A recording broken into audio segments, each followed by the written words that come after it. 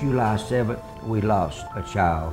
These handmade toys are helping to keep the memory of their baby boy alive. I know that he's touching a lot of kids' lives. Devin Patton brings you the story of this family's emotional journey, Friday at 10.